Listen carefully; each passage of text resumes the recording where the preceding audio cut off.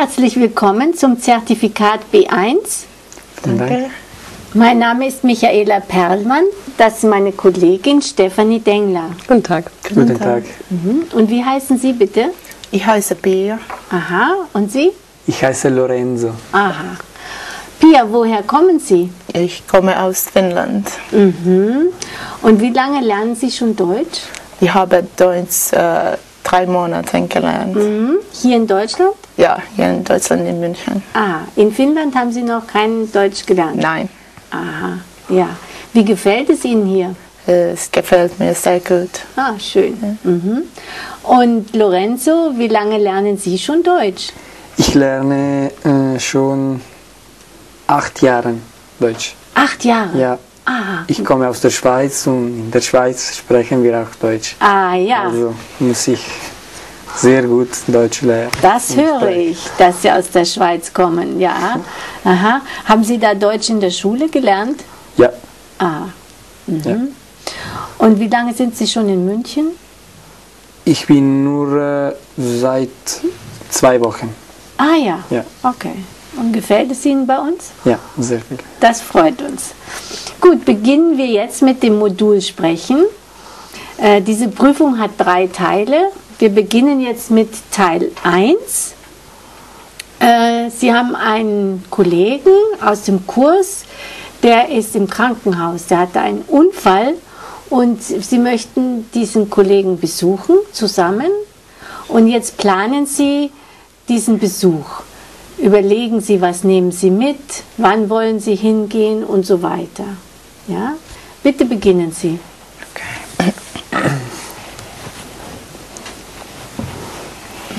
Gut, haben wir äh, unsere Freunde leider im Krankenhaus. Äh?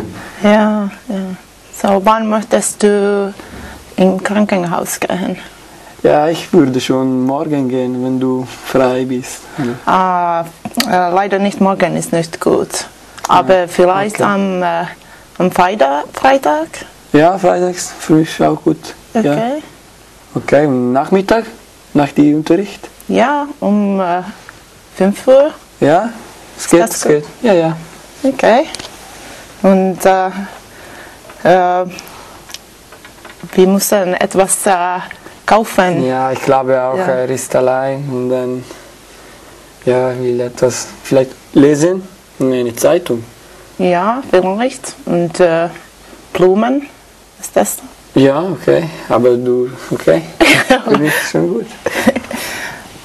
Oder gehen wir nur zwei oder mit, äh, mit alle anderen Kameraden auch? Ja, hm, was möchtest du machen? Ist? Können wir auch fragen vielleicht? Ja, wir können das machen. Und äh, Ja, und äh, er wohnt äh, allein zu Hause. Vielleicht äh, er braucht ein bisschen Hilfe. ja, wir können äh, ihm helfen vom Krankenhaus abholen Ja, um, am Sonntag. ja, Am Sonntag. okay. Ja. Also, du denkst über äh, eine Geschenk, okay? Ja, Und dann ja, ich spreche mit äh, alle anderen Kameraden, ja, ja. wenn, Super. okay? Also Freitag haben wir gesagt, Ja, Freitag und äh, um 5 Uhr. um 5 Uhr. Ja, Perfekt. ja perfekt. Aha. So, bis Freitag. Okay, Freitag gehen wir. Aha, Sie sind fertig mit der Planung? ja. Gut, okay. Ja, das war schon der erste Teil der Prüfung. Dann kommen wir jetzt zu Teil 2 und 3. Darin präsentieren Sie ein Thema. Ja, Sie haben jeder ein Thema ausgewählt und haben sich schon Notizen gemacht. Ähm, bevor Sie nun beginnen, habe ich einen Tipp für Sie. Bitte denken Sie an eine Einleitung und einen Schluss und bitte lesen Sie nicht alles ständig vom Blatt ab. Sprechen Sie bitte frei. Ja? Wer von Ihnen möchte denn beginnen? Ich kann das machen. Ja. Okay. Ähm, bevor Sie beginnen, Sie hören jetzt bitte gut zu äh, bei Pias Präsentation. Sie möchten nämlich hinterher eine Frage stellen. Überlegen Sie sich schon mal eine Frage. Ja? Ja, okay. Okay. Bitte. Okay. Mein Thema ist Kinder und Fernsehen. Und äh, äh, sehen Kinder zu viel fern. Und äh, heutzutage, das ist äh, ein wichtiges Thema. Und äh, ich glaube, dass Kinder zu viel Fernsehen und äh, die Eltern sind gestresst und haben nicht so viel Zeit für die Kinder. So, das ist äh, leichter für die Eltern.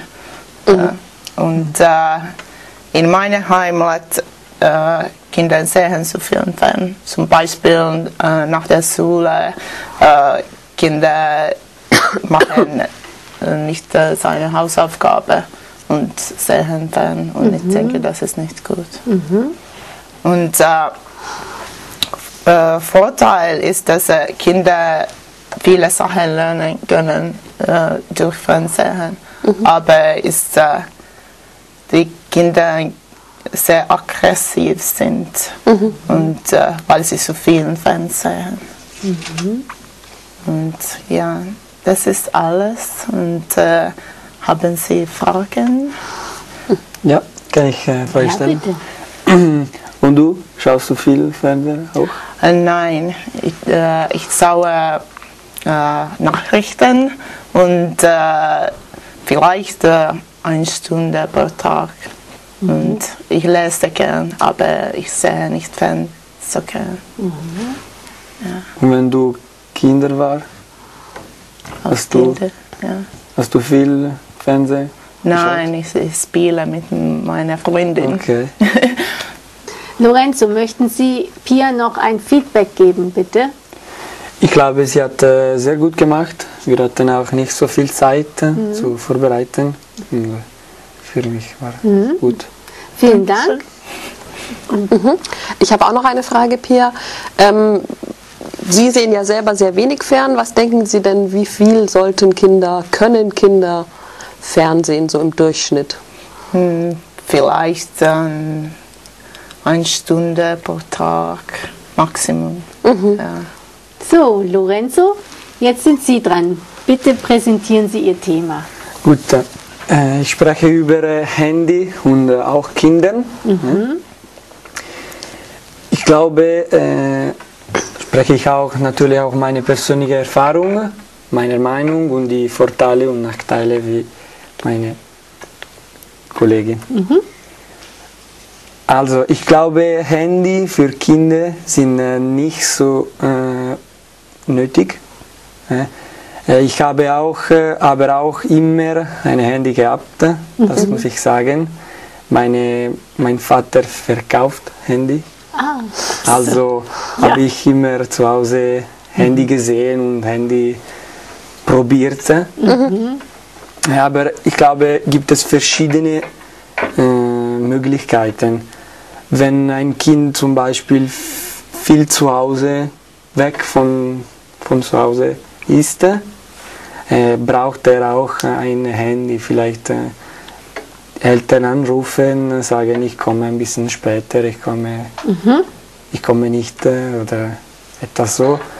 Aber finde ich auch, dass vielen, vielen äh, äh, Kindern oder Junge haben ein Handy einfach zu haben, weil alle, alle ein, ein Handy haben und sie chatten oder sie schauen äh, Foto oder einfach, es ist nicht wichtig für, für sie Handy.